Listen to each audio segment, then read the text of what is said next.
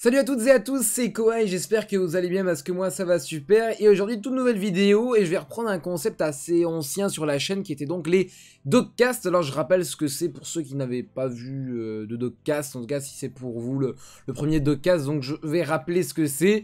Bah, c'est tout simplement une série de podcasts, euh, enfin en tout cas de vidéos type podcast que j'ai lancé euh, sur la chaîne où je ne parle pas de Dokkan directement, parce que vous le savez de toute façon que ma ligne directrice sur la chaîne jusqu'à maintenant ça a été Dokkan Battle. Et eh ben euh, c'est une série de vidéos où je vais parler pas de Dokkan Battle directement, c'est-à-dire que je vais pas faire d'invocation, je vais pas faire de showcase, je vais pas parler de news, je vais parler de choses qui sont en train de graviter, on va dire, des choses qui gravitent autour de Dokkan, donc souvent des sujets d'ordre plus communautaire, ou alors des, des, opinions par rapport à certains concepts, etc. Mais qui sont donc bien autour de Can Battle, pas directement liés à, ce qui va se passer, donc dont le jeu, d'où le terme finalement valise Dogcast, donc de Can, podcast, tout simplement, c'est pas plus compliqué que ça.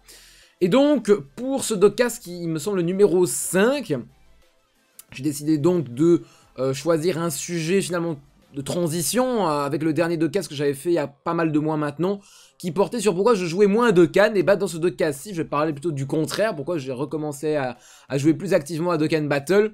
Et ça va être aussi l'occasion pour moi de parler du gacha de façon générale, de comment il, dans quel état il est aujourd'hui, on va dire ça comme ça. Euh, même si c'est un peu péjoratif, hein. mais en tout cas, dans, ma vision du gacha euh, à l'heure actuelle, comment je la vois dans le futur, mais donc euh, ça va être mon avis, d'un côté donc une part un peu subjective, mais aussi comment il est vraiment concrètement. Donc euh, c'est surtout ma perception vis-à-vis de ce qui se passe en l'occurrence, mais euh, en, prenant bien soin de séparer le subjectif de l'objectif. J'espère que j'aurais été clair, en tout cas, vous le verrez, euh, normalement ce sera relativement clair au fur et à mesure de la vidéo, parce qu'en fait c'est une vidéo que je retourne. C'est-à-dire que j'ai déjà fait cette vidéo une première fois, voilà, en entier. j'ai des rushs, je de 20-30 minutes, donc j'aurais pu très bien la poster en l'état, mais j'étais pas du tout content du résultat. Je trouvais, en fait, c'est ce genre de dogcast, bah, je l'ai fait en freestyle. D'ailleurs, ça se voit, parfois je cherche mes mots, etc. Euh, je l'ai fait de manière générale en freestyle, c'est-à-dire vraiment que je, j'établis ma pensée sur le moment. Évidemment, j'invente pas le sujet sur le tas, mais c'est des choses auxquelles j'ai déjà réfléchi, etc. Mais globalement, c'est un discours que je fais vraiment de façon assez spontanée. Et je trouve que c'est beaucoup mieux au niveau, bah, du coup, de la spontanéité, forcément. Et aussi, ça me permet de dire des trucs que, en temps habituel, peut-être je me retiendrai de les dire, etc. Mais, euh, dans la première vidéo concernant le sujet, bah, j'ai été très décousu, je trouve, quand même. C'est le risque, hein, quand tu fais ce genre de choses-là quand tu fonctionnes de cette manière-là en vidéo, c'est que j'étais très décousu, je suis parti sur des sujets qui étaient vraiment euh, loin par rapport au sujet de base, euh, j'ai été vraiment dans des trucs qui sont pas forcément pertinents, et finalement je trouvais que ça n'avait pas tellement de sens, et c'était pas tellement qualitatif à proposer. Donc euh, un peu exceptionnellement, je le fais de temps à autre euh, par rapport à certains podcasts, euh, en tout cas parfois par rapport à certaines vidéos ouvertes de façon générale. Mais là donc, bah, je suis en train de le mettre là juste à côté de moi, vous le verrez pas, hein, mais du coup j'ai un plan à côté de moi, j'ai fait un plan assez détaillé quand même, je dirais une page, qui va me permettre donc de pouvoir articuler un petit peu plus mon propos.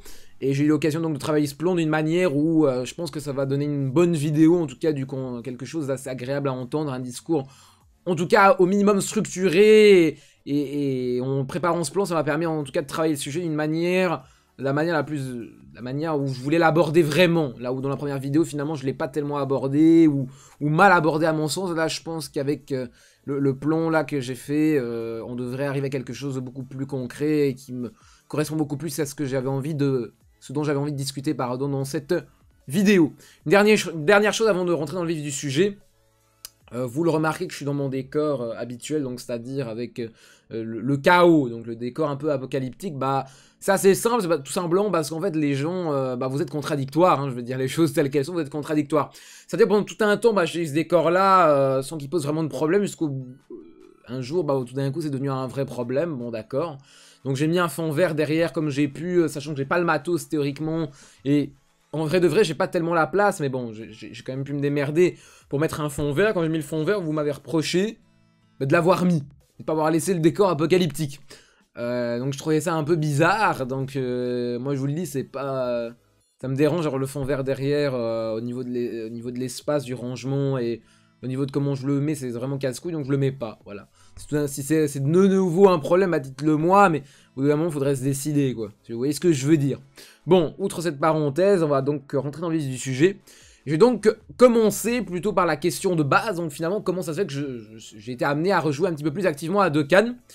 Et en fait c'est assez simple, je pense que pour répondre à cette question très simplement, eh ben, je vais vous parler tout simplement de la question du compromis du temps. Parce que je pense que Dokkan Battle ça remplit très bien ce contrat là, dans la mesure où voilà, je, donc je suis étudiant, euh, euh, j'ai donc du lundi au vendredi, je suis dans la vie active, on va dire ça comme ça. J'ai des cours, euh, parfois je finis à 18h, je commence souvent le matin à 8h, etc. Tout ça pour dire que du coup, je peux pas passer ma vie sur un jeu. C'est pas possible, à part quand je suis en vacances et encore, mais euh, si je veux rester quand même dans un rythme sain a priori, normalement, je peux pas passer ma vie sur un jeu. Et euh, en l'occurrence, il y a deux choses quand même à noter là-dessus. C'est que d'un côté de Cannes, même si j'ai des, des, reproches à, lui faire et, sur lesquels d'ailleurs je vais pas revenir en détail dans cette vidéo tout simplement parce qu'il y a eu euh, le docast numéro 4 donc précédent qui sera donc dans la description qui, euh, bah, qui a servi justement à vous expliquer pourquoi à ce moment là moi j'étais beaucoup moins à fond sur Dokkan donc je vais pas revenir sur toutes ces explications là qui sont on va dire négatives. Là voilà je vais plutôt parler du positif. Mais du coup euh, présente quand même un, un, aspect qui est assez intéressant au niveau des gachas c'est qu'il n'est pas oppressant quand je parle, ce que je veux dire par là, c'est-à-dire qu'il n'est pas dans une logique des extrêmes où on, retrouve beaucoup dans les gachas aujourd'hui, où finalement, soit il y a quasi rien à faire, soit beaucoup trop de choses à faire. Alors malheureusement, on est un petit peu plus maintenant, voilà, à l'heure où je fais cette vidéo, on est en fin de célébration mondiale. Vous le savez que cette célébration a fait beaucoup parler d'elle parce que justement, elle n'a pas proposé beaucoup de contenu. C'est vrai qu'à l'heure où je fais cette vidéo, c'est peut-être un peu moins vrai que par exemple en, juillet, peut-être, où c'était peut-être euh, déjà moins le cas. Et puis aussi, bon voilà, il y, a eu d'autres choses que je vais expliquer par après qui font que moi j'avais des choses à faire là où peut-être d'autres gens n'avaient pas de choses à faire, mais je trouvais, en tout cas peut-être pas pour cette célébration-là, mais de façon générale, que Dokkan arrive à établir un compromis où il y a quand même assez de contenu à faire, mais pas trop, comme dans certains gachas, et surtout vis-à-vis d'une limite dans le temps, c'est-à-dire qu'il y a des gachas qui proposent beaucoup de trucs à faire, qui sont extrêmement limités dans le temps, il faut absolument faire tout un tas de choses, parfois à rythme quotidien, et c'est insupportable. Là où euh, il y a des gachas qui proposent que dalle euh, de, choses à faire sur une laps de temps très grand, c'est pas aussi pas aussi très intéressant.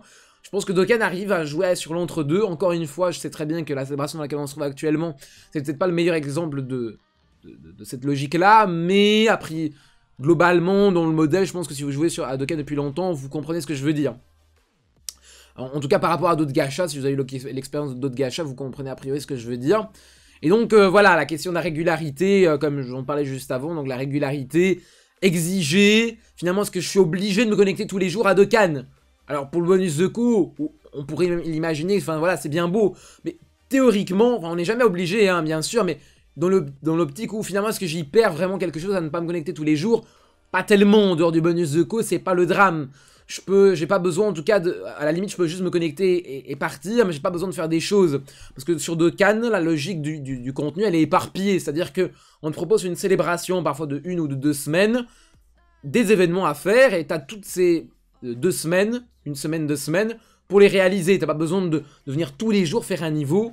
Euh, voilà, ça c'est il y a des niveaux quotidiens bien sûr, mais au-delà de ça, le contenu proposé ponctuellement par la célébration, il est pas dans cette logique-là, il est vraiment dans une logique où tu as deux semaines, un laps de temps élargi pour pouvoir faire ça. T'es pas obligé de te connecter tous les jours comme certains autres gachas. Euh, peut-être que vous l'aurez compris, mais je parle aussi de SSA auquel j'ai joué, mais je vais y revenir bien plus tard dans la vidéo euh, pour garder ça de nouveau structuré, parce que je pense que c'est important de garder ça structuré, sinon ça va partir en vrille, quoi, mais... Typiquement sur un SSA, euh, on n'était pas dedans, on était sur du contenu vraiment de masse, euh, qui prenait un certain temps à être fait, surtout qui se renouvelait quotidiennement. Ça nécessitait de passer plusieurs heures par jour sur le jeu. Au bout d'un moment, c'est peut-être un peu pesant. Alors sur deux cannes, je peux très bien me connecter 5 minutes, ou même pas, même 30 secondes, le temps de me connecter, prendre, valider le bonus de coup et partir. Et en soi, si je me connecte pas, c'est pas le drame. Après, bon, voilà, il y a la capsule quotidienne, les abonnements, vous savez... Euh, qui, peuvent éventuellement changer la donne à ce niveau-là. Mais c'est autre chose encore. On, est dans les mécaniques euh, justement de fidélisation du gacha, mais elles sont pas encore... Euh, elles sont pas autant à fond que sur d'autres gachas sur, euh, sur Dokkan. Et donc c'est vraiment ce compromis du temps finalement qui m'a fait un petit peu revenir sur Dokkan, où finalement c'est un gacha qui arrive à remplir ce contrat d'utilisation du temps en fonction du mien. Voilà, j'ai présenté le type de profil que j'étais, ce que j'avais comme temps à disposition, et finalement, voilà, moi, un téléphone, je l'ai toujours sur moi, donc en soi, je peux même jouer quand je suis en cours ou quoi, mais euh, même si je vous conseille bien, bien évidemment, ne, faites pas comme moi. Mais en tout cas, euh, je peux jouer à Dokkan sans me prendre la tête au niveau du temps et du timing. Et justement, on va en parler un petit peu plus tard dans la vidéo, quand je vais parler du gacha de façon générale. Vous allez vous rendre compte que cette question du temps, elle n'est pas anodine. Et on va beaucoup en parler dans ce que j'appelle, à mon, voilà, à mon sens, on va dire, le clash générationnel du gacha. Et, je pense que c'est un vrai problème aujourd'hui, et je vais profiter de cette vidéo pour en parler, mais je vais faire ça un tout petit peu plus tard. Euh, avant, j'ai quand même envie de parler de, l'historique, on va dire, donc euh, et comment j'en suis arrivé à de nouveau plus jouer à deux concrètement dans les derniers mois. Bien évidemment, je vous ai expliqué les raisons, donc euh, la question du temps. Finalement, comment ça s'est passé, comment ça s'est dégoupillé? Entre le deux casse où finalement j'expliquais que depuis novembre, j'étais un peu en stand-by et, depuis vraiment février, c'était... Voilà, hein, vraiment, je jouais à peine. Et maintenant, quoi, qu'est-ce qui s'est passé? Et c'est assez simple, finalement. C'est donc entre... Ce deux casse là et plus ou moins le mois de juillet, l'anniversaire, même le pré-anniversaire. Je suis vraiment dans, une optique où je me connectais à peine. Je me connectais vraiment de temps en temps, parfois. Je faisais, je, faisais pas tous les Battle Z, je faisais pas tous les stories. Euh, voilà, vraiment, je me connectais de temps en temps. Parfois, quand il y avait un portail, euh, j'en sais rien.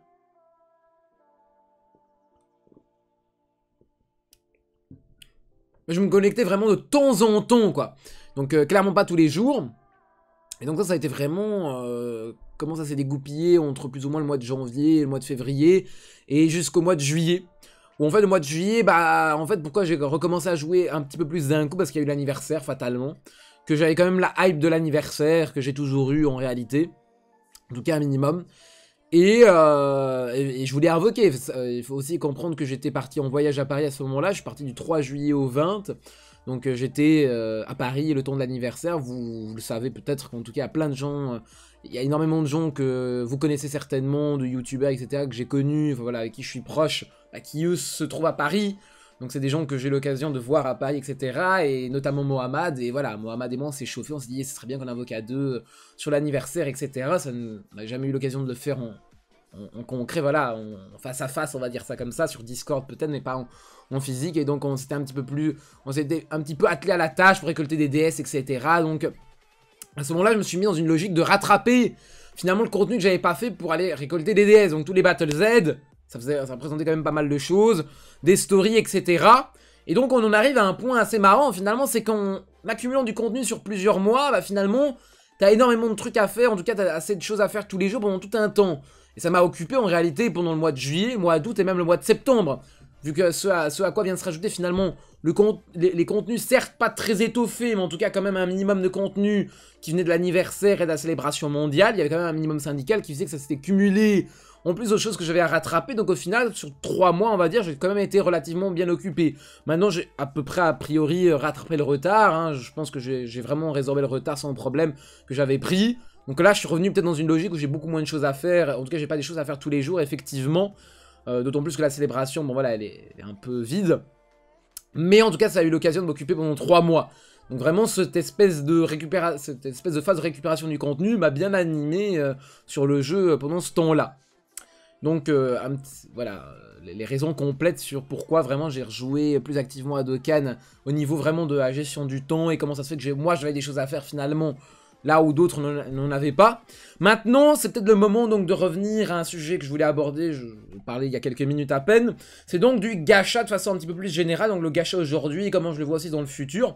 Donc d'une manière subjective, donc mon opinion sur comment les choses se dégoupillent aujourd'hui, comment je les, je les vois et comment je les perçois. Et puis de façon plus objective où je vous explique vraiment mon analyse avec le plus de recul possible. Euh, sans euh, vraiment donner mon avis. Enfin voilà, ce que je vais, je, vais structurer ça d'une façon que je vais vous présenter en fait les choses, et puis je vais donner mon avis par rapport à ça, tout simplement.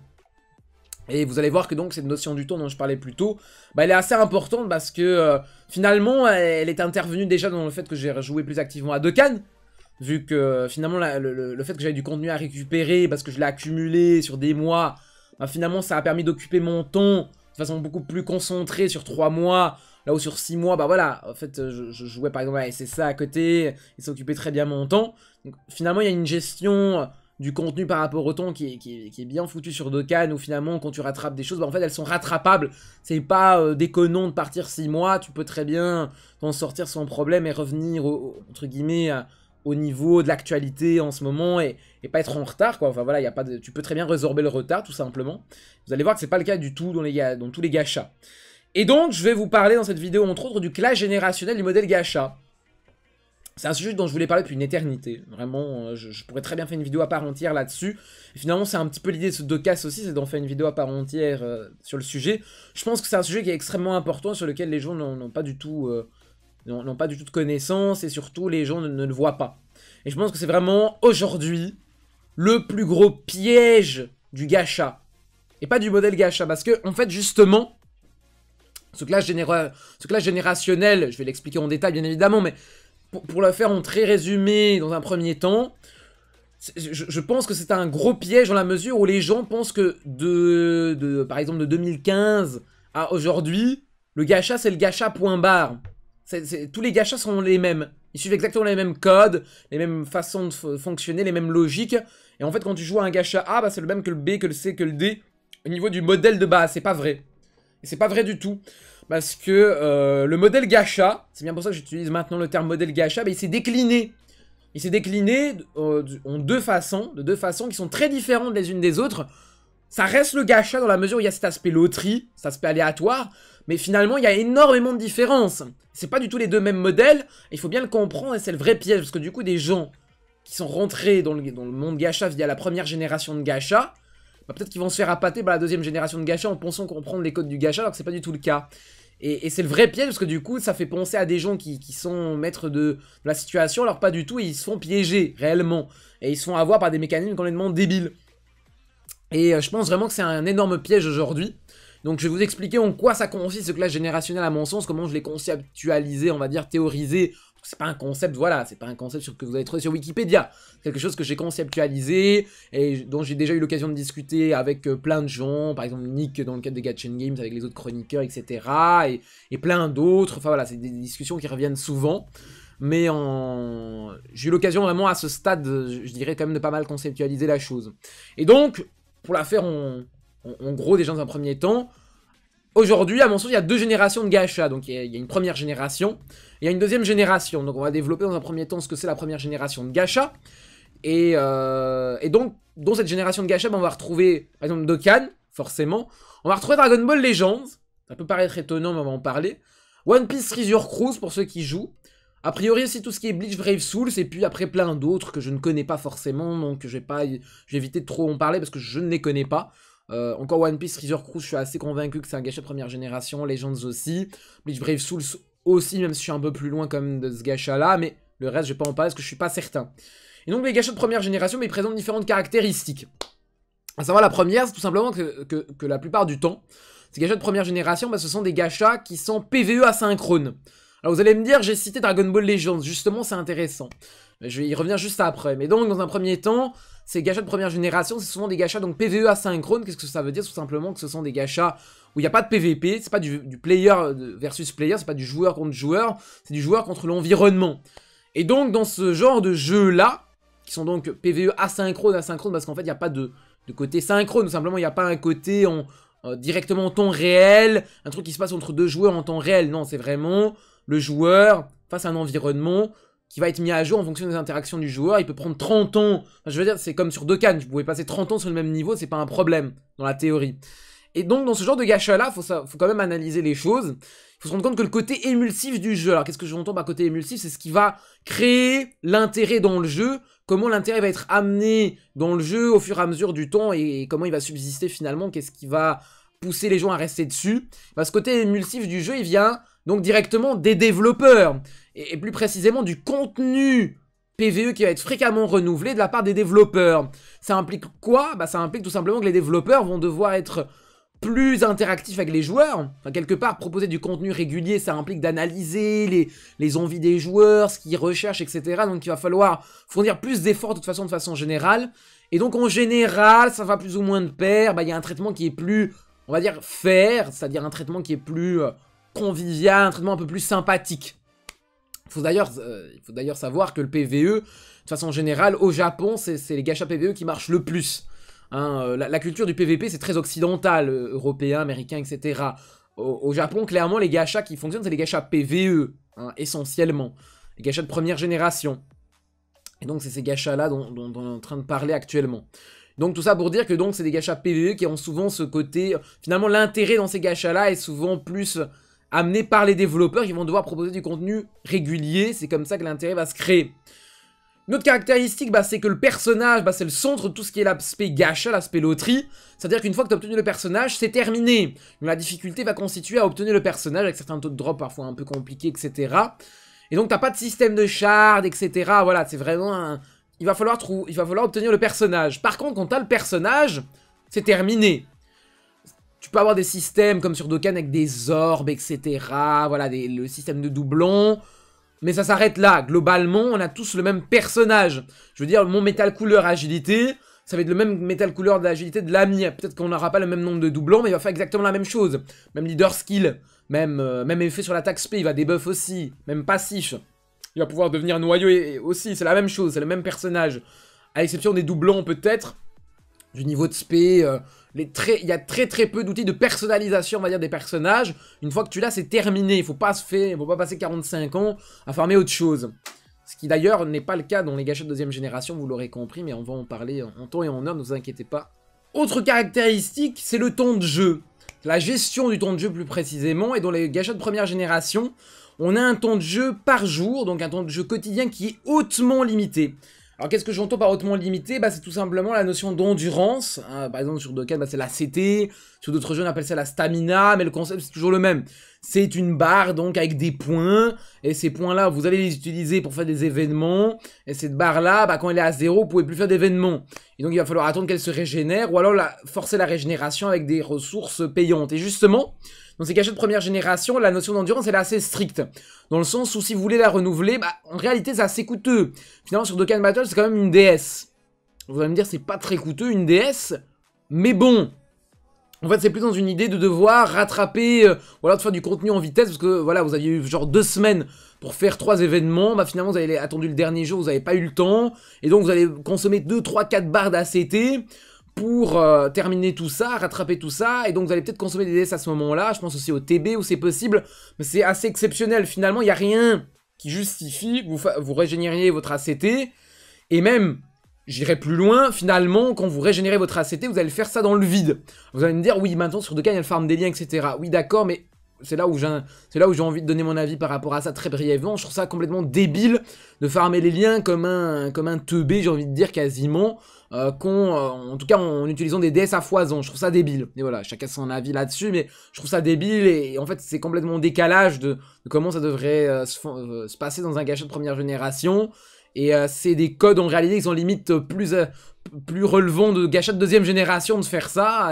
C'est peut-être même l'influence de ces gachats qui font que les gens aujourd'hui ils se disent ah, il faut absolument que je les liens. Mais bon, ça pour dire je trouve ça débile, mais dans l'idée, la notion d'endurance elle est très stricte. C'est que Vraiment, le jeu de base, il propose pas assez de contenu pour qu'il y ait un intérêt à faire ça, parce que sinon tu vas le deplete en deux secondes. Enfin, genre, tu auras fait tout le contenu de la célèbre en, une journée, et puis après, tu vas te faire chier pendant 13 jours sur les 14, et tu vas te rendre compte en fait c'est une connerie d'avoir fait ça, donc naturellement, tu vas plus le faire. Et donc, il y a vraiment tout ça qui est mis en place pour que la notion d'endurance, elle soit vraiment stricte, et que finalement, tu t'en tiennes à cette, barre d'endurance, tu la vides, et puis après, tu passes à autre chose. C'est peut-être l'histoire d'une heure par jour, au grand maximum, sur un Dokkan Battle, sur d'autres jeux comme Legend, je n'en sais rien parce que je n'y joue pas, mais sur un Dokkan, là où, là où je suis quand même, euh, je, joue depuis plusieurs années, je peux le dire, voilà, une barre d'ACT, vous pouvez passer une heure maximum, et puis a priori c'est terminé. Euh, et ça, c'est encore une fois une différence qu'il y aura avec le, les, gâchettes de deuxième génération. De toute façon, vous, vous doutez bien que les axes que j'utilise là, euh, les axes de caractéristiques, sont pas choisis de façon anodin. De façon anodine, pardon. Et pour terminer, une dernière caractéristique des de première génération, bah, c'est le euh, contenu proposé, plus précisément, encore une fois par rapport au temps, hein, j'en parlais dans les raisons, déjà dans un premier temps, dans les, raisons pour lesquelles bah, je suis revenu sur Dokkan, et bah là je le conceptualise dans, le gadget de première génération, et bah c'est comment le contenu est étalé dans le temps. Alors ce que je veux dire par là, c'est que par exemple sur Dokkan Battle, bah voilà, j'en ai déjà parlé dans la vidéo, mais on a souvent des célébrations de deux semaines, et donc on a du contenu euh, qui est proposé. Voilà, par exemple, deux, trois événements, j'en sais rien, peut-être des reruns d'événements, des conneries comme ça. Et vous avez deux semaines pour les faire.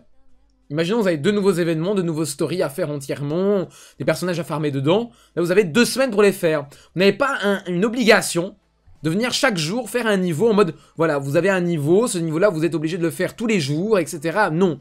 Ce contenu-là, vous pouvez très bien ne rien faire euh, vous pouvez très bien ne pas toucher aux stories pendant 13 jours, le 14e jour, farmer le story à fond, qu'au final, ça ne change rien au niveau des récompenses que vous obtenez, c'est pareil. Alors bien évidemment, si vous ne connectez pas, il y a le problème de bonus de co, mais par rapport aux événements même, ça ne change rien. Et ça, c'est une caractéristique de nouveau propre à ces gâchettes de première génération. Après, vous allez sortir des contre-exemples comme à chaque fois parce que je vous vois venir.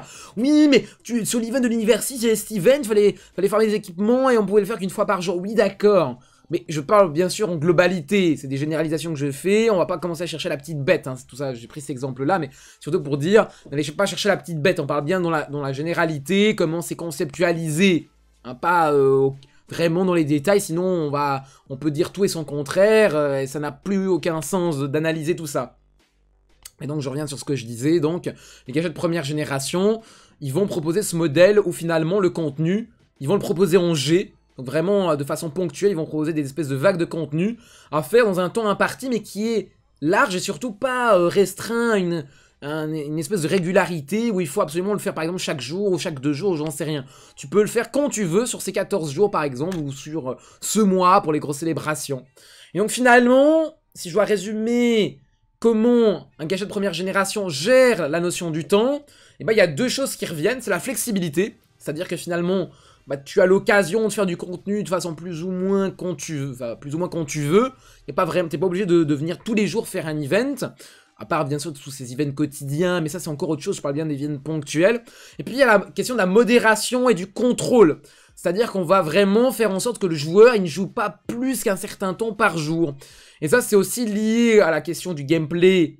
Et c'est pour ça que les gâchettes de première génération en général, ils ont un gameplay pauvre, disons les choses, un gameplay pauvre qui n'est pas non plus très développé, mais ça je vais vraiment y revenir en toute fin de vidéo, parce que je vais parler de Genshin Impact dans cette vidéo, et je pense que c'est là où c'est intéressant d'en parler. Avant ça, on va parler donc des gâchettes deuxième génération. Ça va être à mon avis une vidéo relativement longue qui va être de l'ordre de 30-40 minutes, je vous dis tout de suite, mais voilà, j'ai envie de, m'exprimer, donc euh, on, va, on, va le faire, hein, on va dire ça comme ça. Donc gâchette deuxième génération, euh, typiquement les deux exemples qui me sont venus en tête directement, c'est Sensei Awakening auquel j'ai joué donc pendant un an, je pourrais en parler, et Seven Deadly Sins, j'ai joué trois semaines, donc là je pourrais un peu moins en parler, mais j'ai quand même pu euh, avoir affaire à certains concepts du jeu qui sont toujours là, qui sont immuables, donc la base du jeu. Donc je pourrais au moins, je pourrais en parler un minimum et vous montrer peut-être des exemples. Donc, euh, et d'ailleurs je vais juste revenir avant ça sur Dragon Ball Legends parce que c'est vrai que je voulais en parler quand parce que je disais dans les gâchettes première génération qu'ils étaient souvent PVE asynchrone et en fait Legends finalement c'est un gâchette PVP. J'ai envie de vous dire, c'est pas pour rien qu'ils se cassent un peu la gueule. Dans le sens où il y a souvent, il y a beaucoup de phases un peu houleuses avec le jeu. Pour ceux qui jouent, vous savez, il y a plein de phases. Parce que moi, je suis quand même l'actualité Dragon Ball Legends sans y jouer. Vous savez qu'il y a plein de moments où c'est un peu compliqué. Bah là, on vient d'en sortir sur Dragon Ball Legends, une phase un peu compliquée. Là, ça va peut-être un peu mieux. Mais euh, on a eu des, méta vraiment dégueulasses, etc. Tout ça n'est pas anodin. Il y a un gâchette première génération qui est PVP en, en général. C'est pas forcément un mélange extrêmement efficace. Et Legends, on, le voit parce que finalement on là on va reprendre une caractéristique du gâchette de deuxième génération, c'est l'occasion aussi de l'expliquer d'ailleurs parce que c'est la première. C'est qu'un gâchette de deuxième génération finalement, eh ben, il est beaucoup plus souvent lui par contre PVP synchrone. C'est tout le contraire finalement, ça veut dire que le côté émulsif du jeu, il ne vient pas des développeurs, il ne vient pas d'un contenu qui est mis à jour régulièrement par les développeurs, mais plutôt d'un aspect intracommunautaire, c'est-à-dire qu'en fait c'est la communauté elle-même qui va finalement euh, se mettre en émulsion euh, et en fait s'amuser elle-même de par le PVP et la compétitivité dans le PVP. C'est-à-dire qu'il y a un leader, il y a un classement, et en fait finalement les, joueurs de, ces gachas PVP, de ces gachas de deuxième génération, vont euh, s'amuser à se classer parmi les autres joueurs PVP en se classant mieux qu'eux. donc finalement c'est une émulsion intracommunautaire dans le sens où c'est les joueurs qui se créent finalement cet intérêt vis-à-vis des prestations de chacun. Hein, euh, voilà, on va essayer de, se placer mieux que lui, par exemple. Et ça, c'est vraiment intracommunautaire. Et du coup, ça donne exactement l'effet inverse dans un gâchette de première génération. C'est comme les développeurs n'ont pas à fournir d'efforts en termes de contenu à renouveler euh, bah, pour euh, garder l'intérêt des joueurs et garder les joueurs en haleine. Et bah, du côté des développeurs, il y a un laisser-aller, en tout cas, il y a une tendance au laisser-aller. Puisque finalement, les joueurs, s'occupent un petit peu plus tout seuls. Et on pourrait carrément faire en, réalité une analogie avec un certain concept dans les gâchettes de première génération, et c'est quelque chose qui est souvent revenu sur Dokkan, où il y a eu les fameux débats où il n'y a pas assez de contenu, ça ne suffit pas, avec un certain parti pris par euh, tout un tas de gens en réalité qui disaient « Oui mais alors, vous mais, mais donnez-vous des défis Genre faites des défis sur, euh, donnez-vous des défis sur Dokkan, arrêtez de faire des Goku Rush avec des stackers, c'est logique que vous allez le péter, euh, vous, vous, faites n'importe quoi. C'est logique de dire, voilà, créez-vous, limitez-vous vous-même, créez vos propres défis, bah il y a une espèce d'analogie avec ça, parce que dans la, dans la mesure où les gâchettes deuxième génération, et eh bah les joueurs vont s'occuper tout seuls, en se créant leurs propres défis, parce que finalement personne ne les oblige à devenir top 1 du PVP par exemple, top 10 ou top 50. Il n'y a pas de mission non plus qui vous dit d'aller faire top 1, top 10, top 50, c'est des objectifs personnels. Là c'est la même chose finalement. De, passer le Goku Rush sans stacker, bah, entre guillemets c'est un objectif personnel. Par, et que des gens prennent ce parti pris, on va dire l'objectivise, c'est pas, pas du tout le verbe, c'est l'objectiver, pardon, excusez-moi, je suis un peu fatigué, mais donc, qui, viennent l'objectiver, euh, ce concept-là en disant oui, donc en fait il faut arrêter d'utiliser des stackers en Goku Rush euh, parce que ça rend la chose trop facile plutôt que de dire voilà moi je préfère parce que c'est plus amusant. Une petite analogie euh, du vice, on va dire ça comme une petite analogie du vice qui est assez marrante à, faire je trouve, parce que c'est vraiment une caractéristique à, part entière dans les gâchettes deuxième génération, là où finalement il y a se laisser aller de la part des devs, donc ils sont moins à fond, et des gens euh, de le justifier sur les gâchettes de première génération, où là par contre les devs sont obligés d'être à fond, Sinon, les joueurs sont pas tenus en haleine, il n'y a, a rien à faire euh, de plus. Donc je voulais faire cette analogie parce que je la trouvais assez intéressante, du coup. Et donc sur un Dragon Ball Legends, bah, finalement il a repris cette caractéristique du PVP synchrone, et vous voyez bien ce qui se passe. C'est comme les devs, bah, d'un côté le PVE il est très négligé sur Dragon Ball Legends, peut-être que j'abuse, il y a des joueurs Dragon Ball Legends qui peut-être verront cette vidéo là et me corrigeront là-dessus, mais avec plaisir d'ailleurs, mais à mon... De ce que j'en ai vu, en tout cas, le PVE a l'air assez négligé, du coup il n'y a pas le contenu il euh, n'y a pas de contenu vraiment fréquemment renouvelé de la part des devs. ce contrat-là, il n'est pas tellement rempli. Le PVP, bon voilà, il est buggé, il est là, il y a des lags, etc. La méta était puante à plein de moments. Donc finalement, des équilibres. Dans le modèle de base, des équilibres, tout simplement, d'un côté Dragon, du côté d'un Dragon Ball Legend. Deuxième caractéristique d'un gâchette de deuxième génération, bah, c'est le personnage. Dans un gâchette de première génération, c'est la finalité dans un, deuxième, dans un gâchette de deuxième génération, c'est pas vrai du tout. C'est limite un prérequis, c'est-à-dire que de toute façon, vous devez avoir le personnage pour passer à la suite des événements. D'où le fait que dans des gâchettes de deuxième génération, c'est peut-être limite plus simple d'avoir le perso. Sur ça, vous avez un système de shards. Donc, en fait, à chaque fois que vous invoquez, bah, vous obtenez des shards d'un personnage, donc des éclats. Et au bout d'un certain nombre d'éclats, bah, vous pouvez composer un exemplaire du personnage. Donc, vous êtes obligé, à terme, d'avoir le perso. Et c'est plus ou moins le même système sur Seven Deadly Sins. Vous avez un système de coin shop, donc des, pièces d'échange. En invoquant, vous, si vous obtenez des nécessaires en doublant, ils sont convertis en pièces que vous pouvez échanger contre des personnages tout neufs dans le, dans le shop euh, de pièces, dans le coin shop. C'est des systèmes qui sont donc mis en place pour simplifier l'obtention des personnages, tout simplement parce que c'est devenu limite le prérequis. Alors bien évidemment, les gens vont se vont, vont, vont foncer hein, pour obtenir les persos, mais c'est pas du tout l'essentiel euh, de tout ce qu'il va falloir monter, et là où donc on peut potentiellement cash-play, hein, c'est bien vice. Hein. Et en fait, le centre des préoccupations, il est pas là, c'est dans le fait de monter le personnage, c'est pas dans le fait de l'obtenir. Une fois que vous l'avez, donc peut-être que déjà vous avez consommé un certain... pas mal de thunes, peut-être, peut-être que vous avez déjà du cash-play pour obtenir le personnage, encore va-t-il falloir le monter et au final, là où c'est très différent d'un gâchette de première génération, là où on a plus ou moins tous le même personnage, dans un gâchette de deuxième génération, ça n'est pas vrai on peut avoir un même personnage qui, dont, l'idée a le même kit, de les, mêmes compétences, etc. Mais qui vraiment ne, sont plus les mêmes. Euh, je pense notamment aux équipements. Là où on, en retrouve maintenant beaucoup plus dans les gâchettes de première génération. Voilà, ils sont mis à jour, il y a beaucoup cette notion d'équipement qui revient. Mais au second plan, dans un gâchette deuxième génération, c'est ton avant-plan, vraiment, c'est au premier plan les équipements, ça joue énormément, ça ramène beaucoup de stats, ça peut permettre de customiser, notamment sur SSA, bah voilà, il y a la notion de vitesse pour ceux qui jouent, vous le savez, ça détermine donc l'ordre dans, lequel les personnages vont jouer, ça joue beaucoup. C'est un énorme impact. Donc au final, ça, ça, va vraiment influencer aussi sur le gameplay. Donc c'est vraiment mis au premier plan. Donc les équipements, c'est vraiment indispensable d'aller les chercher. Donc encore, une, finalement, il faut peut-être cash-play. Euh, pour pouvoir aller récupérer ces équipements-là, et donc on va y venir juste après aussi à ça. Et puis en plus de ça, il y a des, mécaniques, soit généralisées, donc on retrouve dans plein de gâchettes de deuxième génération, je pense aux skins qui ramènent des stats, c'est assez honteux, mais bon voilà. Et des mécaniques sont souvent, euh, ou alors des mécaniques propres au jeu, voilà, il y a quelques gâchettes qui appliquent ce genre de mécanique-là. Pour ceux qui ont joué à SSA, ben, il y a la mécanique des temples de fleurs, donc c'est des temples. En fait, vous allez retrouver un certain nombre de personnages. Euh, euh, c'est des temples à thème, par exemple, il y, a un thème dans... et c'est ça, c'était un, temple qui s'appelle Feu Gelé. Donc t'as des personnages qui sont soit liés à l'élément, on va dire, du feu, voilà, qui, qui est genre Iki du Phénix, ce genre de trucs là, et les personnages qui sont liés à l'eau, genre un Poséidon par exemple, c'est des personnages là qui vont se retrouver dans cette maison, et qui vont partager, euh, qui vont obtenir un boost. Un boost sur base de comment la maison elle est montée. Donc pour monter la maison, il vous faut des fleurs.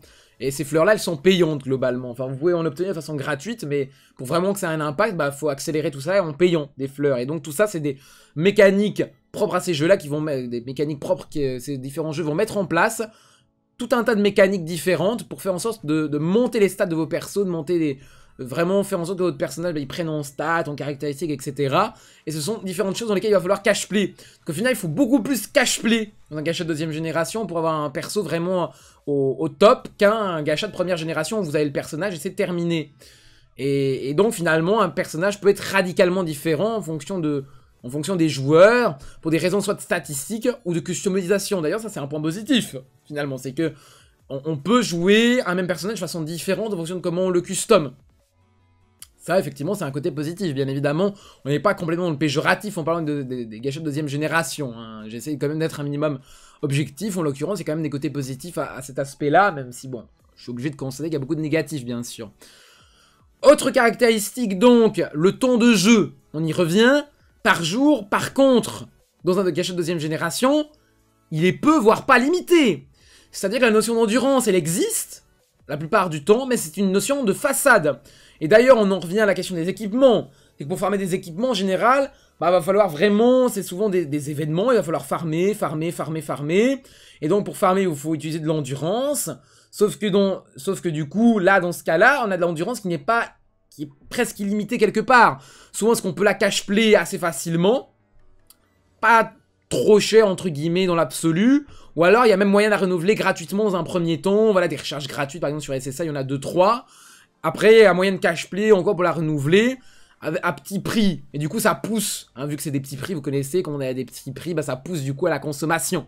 Donc du coup, les gens vont vraiment renouveler l'endurance encore et encore, encore, encore, encore, encore, encore et encore pour, par exemple, farmer ses équipements, parce que c'est une nécessité de les avoir. Donc il y a vraiment non seulement du contenu qui justifie de farmer en boucle, pas comme dans les gâchettes de première génération, on va vraiment limiter le contenu. Là, vraiment, on a, du, on a vraiment ce genre d'événement qui, de toute façon, il faut des équipements en masse, en masse, en masse, de toute manière. Donc, il y a, y a, des choses qui justifient d'avoir de l'endurance en masse. Et en plus, il y a des moyens d'obtenir cette endurance en masse. Il y a moyen, de façon plus ou moins accessible, on va dire. Ou alors via du cash play relativement mesuré. Mais du coup, bon, forcément, en l'accumulation, vous, vous doutez bien que ça fait énormément. Et bon, voilà, ça c'est quand elle existe, la notion d'endurance, que sur certains jeux, elle n'existe pas. Sur SSA, elle existe, il y a la notion de cœur. Sur Nanatsu no elle existe, mais c'est très très facile à renouveler. Sur certains gachas, notamment Genshin Impact, mais ça je vais en parler encore après, il n'y a pas d'endurance. Et euh, c'est euh, donc finalement ton de jeu par jour un petit peu illimité quelque part. Et donc ça peut pousser un, joueur à jouer de façon continue et très investi sur un rythme quotidien. Vraiment, il va jouer en boucle. L'idée, c'est vraiment d'aller chercher à faire que le joueur va jouer que à ça tout le temps, tout le temps, tout le temps, le pousser à rester sur le jeu le maximum possible. En plus de ça, bah, il y a le PVP à côté souvent ces jeux-là, donc qui ont des créneaux horaires bien définis, qui vont donc occuper ces joueurs-là pendant ces créneaux-là. Et en dehors, bah, il y a le contenu PVE qui est là en fait pour soutenir les performances en PVP, qui lui est quelque part entre guillemets illimité parce que l'amélioration elle est sans fin. Donc finalement, ton jeu quasi limité. Et à côté de ça, au niveau de la masse de contenu, parce que je vous rappelle que les gâchettes première génération, eh ben, on a un contenu qui est envoyé par G, par euh, vague, étalé sur un certain temps. Bah là, c'est pas du tout le cas. On a une certaine masse de contenu, de tâches quotidiennes, de missions quotidiennes, peut-être de donjons, j'en sais rien, ça dépend des jeux, qui se renouvellent de façon quotidienne. Et qui à chaque fois amènent des récompenses. Imaginons, vous ratez un jour, vous avez perdu ces des récompenses finalement. Donc si on veut jouer de façon optimale, parce que moi je ne suis pas partisan de dire on doit, on doit pas, c'est un gacha, c'est un jeu. Mais ça, c'est le piège aussi. Hein. Les gens qui commencent à dire on doit, c'est chaud. Donc, euh, quand on, a affaire à, ce rythme-là, bah, c'est-à-dire qu'on a donc une certaine masse de contenu. Donc, tout un tas de tâches quotidiennes. Sur Saint Seiya, ça représente tout un temps. Euh, moi, je dirais que c'est franchement pour tout faire sur Saint Seiya Awakening, en termes de tâches quotidiennes, de trucs, voilà, c'est 2-3 heures. Et, et, ça se renouvelle de chaque jour. Chaque jour, à rythme quotidien. Donc chaque jour, il va falloir refaire tout ça. Chaque jour, il va falloir se remettre à jour sur ses missions. Et c'est énorme, en fait, c'est énorme. Et en fait, ça, amène du coup le joueur, pour ne pas rater de récompense, à devoir jouer tout un certain nombre d'heures au minimum par jour. Et donc finalement, au niveau de la gestion de la notion du temps sur les gâchettes de deuxième génération, on est sur deux valeurs opposées à la gâchette, des gâchettes de première génération. C'est qu'on est sur la rigueur, donc on va essayer de discipliner le joueur de sorte à ce qu'il se connecte tous les jours et à passer tout un certain temps, à passer un certain temps, pardon, chaque jour, vraiment un, temps minimum qui est, dans l'idée, dans l'absolu, assez élevé, quand même 3 heures sur 24 heures, c'est quand même pas mal. Et puis sur une hyper fidélisation, ça c'est vraiment l'aboutissement, c'est qu'on va vouloir, là où sur le, les gâchettes de première génération, on va vouloir faire en sorte de fidéliser le joueur en finalement lui proposant du contenu distillé et en, gérant bien le nombre le, temps qu'il va passer par jour sur le jeu en vraiment le modérant. On va vraiment le garder sur la longueur comme ça. Et bah les, les gâchettes deuxième génération vont vouloir au contraire vraiment hyper fidéliser le joueur en vraiment en, le poussant à jouer plusieurs heures par jour. Finalement on l'obnubilant avec le jeu. Vraiment que son temps loisir ce soit ce jeu là. donc là deux approches sont fondamentalement différentes que ce soit dans le gacha de première génération et de deuxième génération, ce qui fait que le, gacha aujourd'hui, ça n'est pas... Euh, tous les gachas ne sont pas identiques du tout. Et c'est un piège, parce que finalement, le public cible, quand on parle de gacha de première génération, bah c'est qui? Mais c'est tout le monde en fait, c'est un public qui est entre guillemets étendu. C'est-à-dire qu'en fait, il va se passer pour un jeu classique, et euh, en se passant pour ce jeu classique-là, pendant que les gens vont jouer en pensant qu'ils jouent un jeu mobile tout à fait normal, un jeu vidéo tout à fait conventionnel, et bah les mécaniques d'addiction du modèle gacha vont se mettre en œuvre pour essayer de fidéliser le joueur et de l'enliser dans le fameux engrenage du gacha pour qu'il rentre dans le moule. Alors que le gacha de deuxième génération, il va s'adresser pas à un public étendu, il va pas chercher à agrandir sa fanbase, mais à créer un noyau stable de joueurs, donc un noyau réduit, fermé, et ce noyau-là, il est constitué des gens qui sont déjà aguerris du gacha, donc finalement qui sont venus peut-être via les gachas de première génération.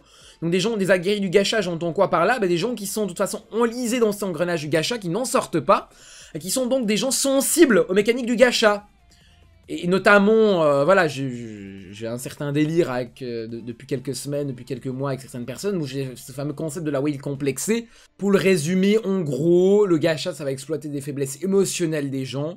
Et entre autres, parmi les possibles faiblesses émotionnelles des gens, ben, il y a le fameux complexe de reconnaissance, vous le savez.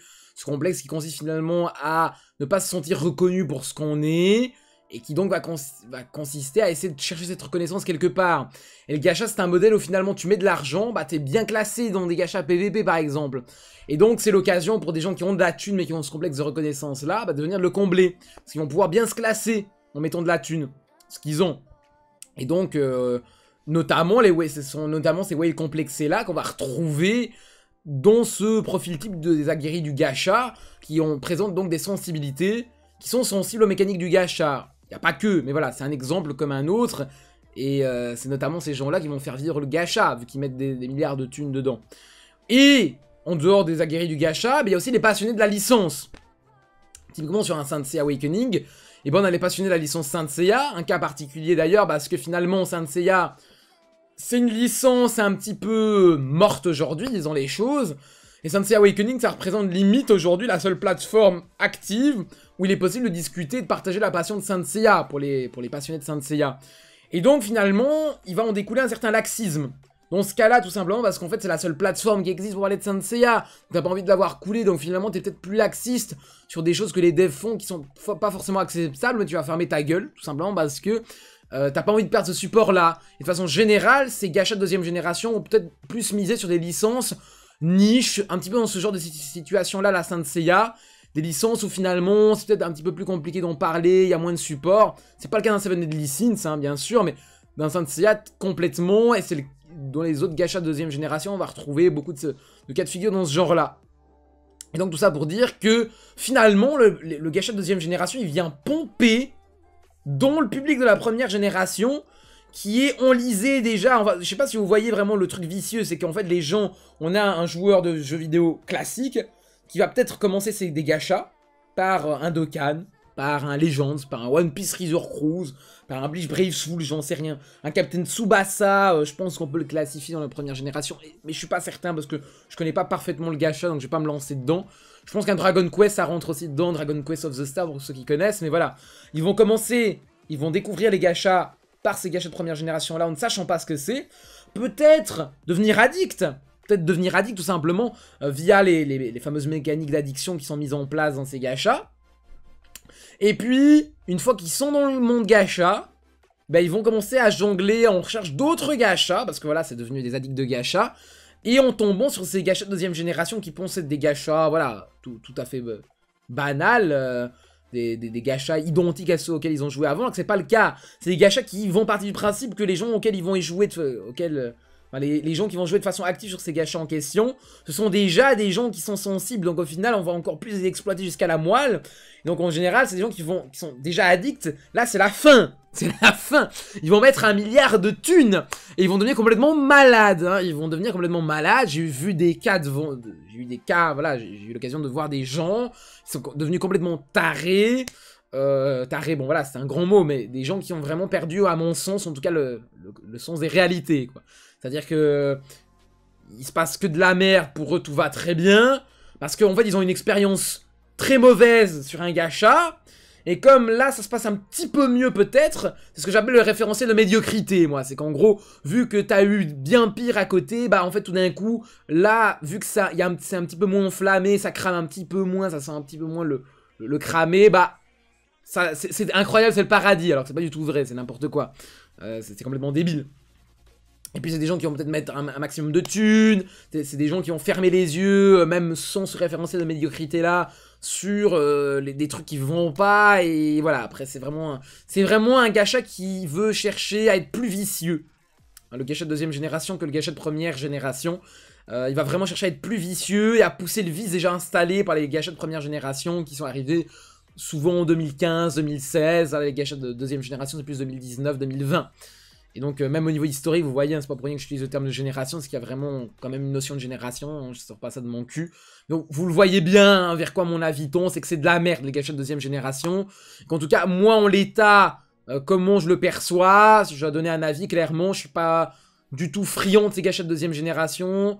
Vous le savez, j'ai joué à ça pendant un an, j'en ai tiré une très mauvaise expérience globalement. Euh, il y a eu des côtés positifs, bien sûr, mais voilà, j'avais fait un tweet longueur, je lui ai expliqué que, pour le résumer en très gros, sinon, de toute façon, il sera dans la description, euh, vous pourrez lire en entier, il est assez développé, mais pour résumer, voilà, la scène YouTube, détestable, la communauté, aucune affinité, les développeurs, ils vous chient dessus, voilà, ça c'est un peu un gâchette de deuxième génération dans les cas les plus extrêmes, c'est pas, ils sont pas tous comme ça, n'abusons pas, mais on est vraiment dans des gâchats ultra chronophages, ultra fidélisants, et je suis désolé, moi je n'ai pas le temps.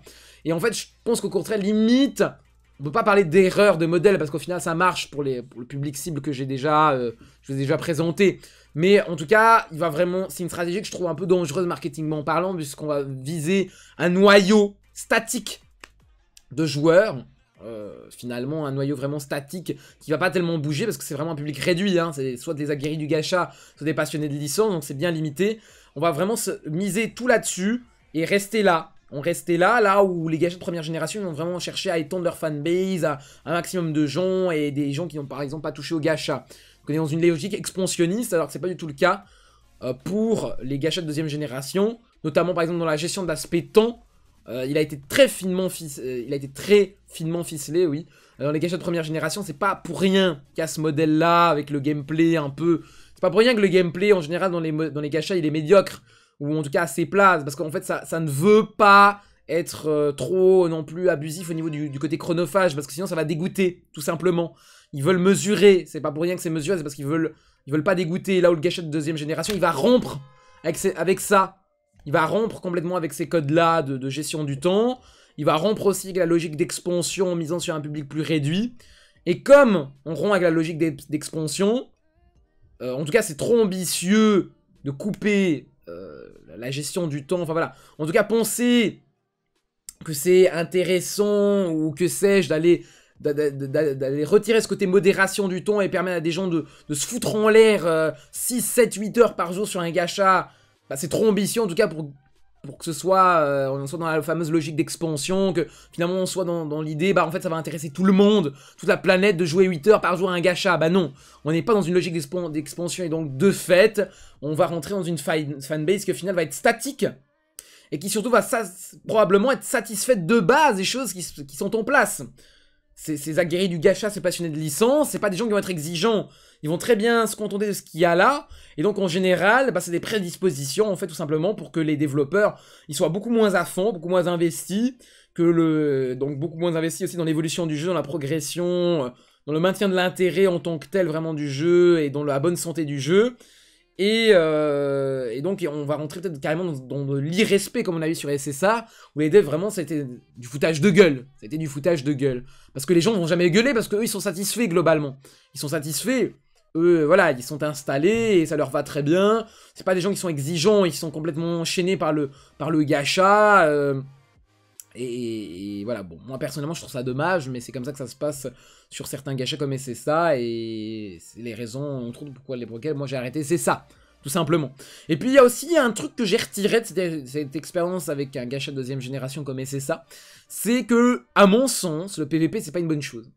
Pas une bonne chose pour un gacha, j'entends. Je rappelle donc que c'est culturel, le fait qu'on ait du PVP dans les gachas en Occident, euh, là où en fait les gachas PVE sont beaucoup plus favorisé au Japon, qui est un peu le bercail hein, finalement du, gacha, tout simplement parce qu'il y a des questions d'ordre communautaire qui se posent. C'est-à-dire qu'un gacha PVP, en général, il est beaucoup moins communautaire, parce qu'il y a des questions de compétitivité malsaine, tout simplement. C'est-à-dire que euh, là où par exemple sur Dokkan, je sais pas moi, imaginons demain je découvre une mécanique. Ou demain il y a Jean-Pierre, il va découvrir une mécanique, il va la partager direct en vidéo, sur Reddit, sur Discord, j'en sais rien, ça va essayer, il va essayer de la partager un maximum. Alors que sur euh, un par exemple, je découvre une mécanique, un truc un peu qui, n'est pas connu. Bah, on va fermer sa gueule, on va rien dire, parce que sinon, si le truc, il arrive au voisin, bah lui, il va faire pareil, donc t'as plus l'avantage sur lui. Donc il y a beaucoup de, secrets, il y a beaucoup de... Et du coup, ça crée beaucoup de groupuscules aussi. Parce que du coup, euh, là où la communauté sur Dokkan, elle est vraiment bien, on va dire, entre guillemets, soudée, c'est-à-dire que voilà, tout fonctionne ensemble, les wikis, les discords, le Reddit, YouTube, etc. Tout le monde se renvoie la balle les uns vers les autres pour se compléter. Et bah sur, un SSA par exemple, qui est un gachet de deuxième génération, que je connais bien du coup parce que j'y ai joué un an, bah c'est pas du tout le cas. Et bah on a beaucoup de logique, voilà, on a beaucoup d'astuces qui sont propres à des légions, qui vont pas sortir du cadre des discords des légions. Il n'y a pas tellement d'interaction entre les différents discords de légions. Il y a l'un ou l'autre discord globaux, euh, un petit peu plus généralisé, où en fait il y a des discords peut-être de, de youtubeurs, mais ça s'arrête là. Il y a très peu de support communautaire aussi, voilà, sur deux quêtes on a deux wikis, on a le Reddit, on a les traductions sur Twitter qui arrivent, on a les Discord aussi qui, sont actifs au partage d'informations. En tout cas, il y a vraiment un partage d'informations, même sur la version japonaise, où finalement on parle pas japonais, mais pourtant les informations dès qu'elles sortent, même, même pas une heure, on a tout ce qu'il faut.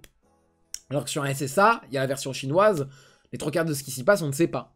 On ne sait pas, il y a personne qui traduit, euh, en tout cas, il y a très peu de gens qui traduisent et on, sait globalement assez peu ce qui se passe. Il y a peu de bases données communautaires. Il y a un wiki, voilà, vaguement. Enfin, moi, personnellement, je n'étais pas tellement à l'aise avec, mais il y a un wiki qui, qui est plus un site général qu'un vrai wiki. Il n'y a pas tellement de supports multiples et c'est assez lacunaire, en tout cas, par rapport à d'autres versions, par exemple. C'est beaucoup plus compliqué de s'informer sur ces jeux-là et encore une fois, c'est parce que les gens ne veulent pas que vous informez. Parce que sinon, vous allez avoir des astuces sur eux. Je trouve ça un petit peu con. Et puis il y a aussi un aspect superficiel qui me dérange beaucoup. Dans la mesure où euh, finalement, euh, il y, a des gens qui vont vraiment euh, se la péter et se prendre vraiment pour ce qui. Pour, pour, pas pour de la merde, parce qu'ils sont en train de se classer dans un gacha. Alors ça veut bien sûr rien dire du tout. Ils essayent de prouver des choses en se classant dans un putain de gacha. Ça n'a aucun sens. Alors je rappelle, par exemple sur SSA, il y avait un terme qui me faisait beaucoup marrer, c'est le terme d'optimisation. Parce qu'en fait sur SSA, tu dis que quelqu'un cache les beaucoup, on va t'insulter. C'est mal vu, visiblement. Donc ils utilisent le terme optimisation pour résumer qu'un mec il a mis 10 000 euros euh, par nanoseconde pour remplir sa box. Et typiquement, je suis désolé, autant sur un SSA par exemple, le gameplay est pas mal poussé. Et d'ailleurs, justement, c'est un contraste avec les gâchettes de première génération, parce que les gâchettes de deuxième génération, en général, ils poussent un petit peu plus l'aspect gameplay pour intéresser le joueur, pour le pousser à jouer beaucoup plus. Là où justement le gâchette de première génération, il va vouloir proposer un gameplay pauvre pour finalement dissuader le joueur de jouer beaucoup, pour pas le dégoûter. Parce que clairement, euh, gameplay développé ou pas, tu vas finir par être dégoûté au bout d'un moment, surtout avec la quantité de contenu qui, qui est présent, notamment, euh, c'est ce qui m'est arrivé sur SSA, c'est pas pour rien que j'ai dit que sur Dokkan j'étais à l'aise avec les, timings, etc. Sur, sur SSA, je l'étais pas du tout. Il y avait 3 heures de contenu quotidien à faire par jour, il y avait euh, du PVP aussi à faire a, priori, il y avait des milliards de trucs à faire, au bout d'un moment ça te dégoûte, même si le gameplay il est excellent sur SSA, je répète, le gameplay de SSA il est incroyable, mais au bout d'un moment ça te dégoûte quand même, trop, c'est trop. C'est trop. Et donc du coup, pour revenir à ce que je disais, eh bah il y a des gens qui essaient de prouver des choses en se classant bien dans un gacha alors que je suis désolé. À part, voilà, même si le gameplay est un peu, plus développé que ça, et eh bah c'est clair que pour être dans le top 50, faut mettre de la thune. Faut mettre même beaucoup de thunes pour être par exemple dans le top 10. Parce qu'il faut pouvoir talonner en termes de statistiques pures, faut pouvoir rentrer dans la stratégie, pouvoir au moins talonner en termes de statistiques pures euh, bah, bah, les gens, quoi, pour être... Euh, qui sont eux-mêmes dans le top 10, qui mettent beaucoup d'argent, tout simplement. Donc je trouve ça très... Euh, je trouve ça complètement débile, ça aspect superficiel de se la péter pour des performances dans un gacha, parce que je suis alors que je suis désolé, performer dans un gacha, c'est mettre de la thune. Pour généraliser, c'est un peu plus compliqué que ça, bien sûr, mais je trouve ça un peu dommage. Et, puis à côté, le PVP, bah, comme je l'ai expliqué, vu que c'est un côté, vu que finalement les joueurs, bah, ils sont... ils se hype eux-mêmes en essayant de se classer, bah du coup ça fait que le jeu il progresse pas il est assez statique dans la mesure où les devs, bah, ils vont pas fournir d'efforts pour l'améliorer ou assez peu. Là, sur un gacha PVE, ils sont obligés de fournir des efforts constants pour améliorer ne serait-ce que l'aspect QL, donc tout ce qui est interface, etc., quality of life, et euh, l'aspect quand même du gameplay, des événements, proposer des choses à faire, quoi. Il y a plus d'efforts naturellement à fournir dans un gacha PVE, c'est garanti un aspect, un environnement beaucoup plus sain. Donc voilà, ça c'est mon avis pour le gacha dans l'immédiat. Euh, dans le futur, bah voilà, j'ai quand même parlé donc du fameux Genshin Impact, vous le savez, c'est le gacha du moment, la nouvelle mode. Euh, je vois que tout le monde y joue. Euh, alors, je vais préciser quand même qu'on vienne pas me taper sur les doigts, mais typiquement là, je vais vous montrer. moi, je l'ai installé. ça va se recadrer à la caméra à un moment donné, a priori. si ça veut bien. Un jour. Voilà, donc vous le voyez, Genshin Impact, il est installé sur mon téléphone. Alors pourquoi il est installé sur mon téléphone? C'est tout simple, parce que j'avais pas envie qu'on vienne me casser les couilles à dire que je critiquais un jeu auquel j'ai pas joué. Bah j'ai joué, effectivement j'ai pas accroché comme je le pensais. Mais du coup, euh, je vois que c'est la nouvelle mode, que tout le monde y joue, que tout le monde pense que ça va être le gacha du siècle, qui va devenir un, gacha incroyablement connu. Je pense que tout le monde... Euh, je, suis pas du tout d'accord. Je vais pas dire que tout le monde a tort, parce qu'en fait, je, peux pas dire ça. Je suis euh, je suis pas devin, je suis pas omnipotent. Peut-être que c'est moi qui ai tort, tout simplement. Mais en tout cas, cette nouvelle mode, pour moi, elle est encore significative de la démarche des gens en mode ah, nouveau gacha, on y va Voilà, je pense que la, fameuse maladie d'Alzheimer, qui fait que dès qu'il y a un nouveau gacha qui sort, les gens oublient que c'est un gacha, et qui se balancent dessus en disant c'est incroyable, c'est tout beau, et au bout de 3-4 mois, ça devient de la merde. Pour être un petit peu plus, développé sur Genshin Impact, moi je donc la nouvelle mode, hein, et ben je pense qu'en réalité c'est signe d'un truc dégueulasse, voilà, à venir, parce que à mon sens Genshin Impact ça ouvre ce que j'ai envie d'appeler la troisième génération de gacha. Euh, à, mon sens, ça va ouvrir la troisième génération de gacha. Et là où, à mon sens, c'est pour le pire et pas pour le meilleur, c'est qu'en fait, c'est finalement une, espèce d'hybride, une espèce de chimère des deux premières générations. On va en tirer, on va tirer tous les vices de la première et de la deuxième génération. En, se faisant passer, bon, évidemment, pour un gacha révolutionnaire, innovateur, par rapport au gacha de première et de deuxième génération. quelque part, on se prétendons euh, colmaté, être plus intéressant que cela, comme d'habitude, hein, comme les, les gâchettes de deuxième génération ont voulu le faire avec les gâchettes de première génération. Là, c'est la même chose, un Genshin Impact qui, à mon sens, inaugure la troisième génération, il va essayer de se démarquer de la deuxième génération, et effectivement, il y arrive. C'est un open world très bien foutu, les graphismes sont très bien, effectivement. Maintenant, pour résumer, parce que sinon la vidéo elle sera vraiment giga longue, mais pour résumer vraiment deux points ce en quoi, à mon sens, ça, va, ça se démarque d'un gâchette de deuxième génération réellement, tout en reprenant différents codes par-ci par-là que vous allez identifier assez bien si vous jouez. Déjà, c'est un modèle gacha qui n'est plus mobile. C'est-à-dire que de base, le gacha, c'était sur téléphone. Alors bien évidemment, on pourrait dire que ça vient de FIFA, du truc FUT et compagnie. Mais là, vraiment, le, modèle gacha, comme il, a, il, a, vraiment germé sur mobile, hein, faut pas se leurrer. C'est vraiment germé sur mobile, c'est devenu ce que c'est devenu sur mobile. Là, ça s'exporte avec un Genshin Impact, on va retrouver sur PS4 qu'on va retrouver dans le futur sur Switch aussi, qu'on retrouve sur PC. Hein, euh, donc c'est un, un, gacha qui va vouloir s'exporter sur différents supports et propager la mode gacha en dehors du mobile. Ça n'est pas une bonne chose, hein, parce que vous connaissez le modèle gacha, c'est de la merde, qui s'exporte sur d'autres supports en dehors du mobile, qui va essayer de toucher un plus grand public, c'est de la merde, à mon sens, de toute façon. Et, ça, c'est une amorce, parce que c'est assez... Bah, forcément, comme le jeu est bien développé et tout, ça passe très bien sur une PS4, mais c'est inquiétant, justement, parce que ça va ramener un nouveau public dans le monde gacha et malheureusement le rendre potentiellement addict à toutes ces mécaniques gacha. Et puis une deuxième chose, et, typiquement c'est là où il y a encore plein de choses à développer, plein de choses à dire et plein de choses à analyser aussi, c'est que la troisième génération, elle va apporter son nouveau lot de vis, bien évidemment. Évidemment, comme la deuxième génération l'a fait, bah là, la, nouvelle, euh, la troisième génération, elle va apporter son nouveau, son nouveau lot de vis. Et autour de Genshin, Genshin Impact, ça va jouer sur, ça joue sur un truc très vicieux. C'est-à-dire que ça importe un espèce de modèle MMO, finalement. Euh, donc avec euh, et donc voilà pour ceux qui ont joué à des MMO, euh, vous le savez, il y a certains réflexes à avoir, certaines logiques à avoir, les donjons on les fait pas n'importe comment non plus.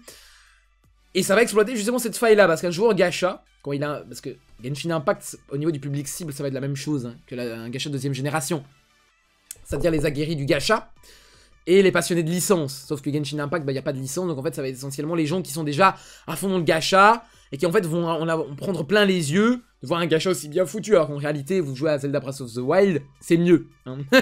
Mais euh, en termes de gacha, effectivement, dans le milieu gacha, c'est innovateur d'avoir un truc pareil. Mais c'est le danger, parce qu'en fait, en, réalité, c'est un, un gacha qui va reprendre les codes du MMO, et du coup, qu'est-ce qui se passe?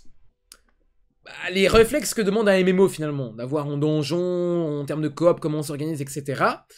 Et ben il y a des gens qui vont vouloir euh, les colmater de la thune. voilà, par exemple, imaginons, j'en connais déjà qui ont mis des centaines d'euros dans le Genshin Impact.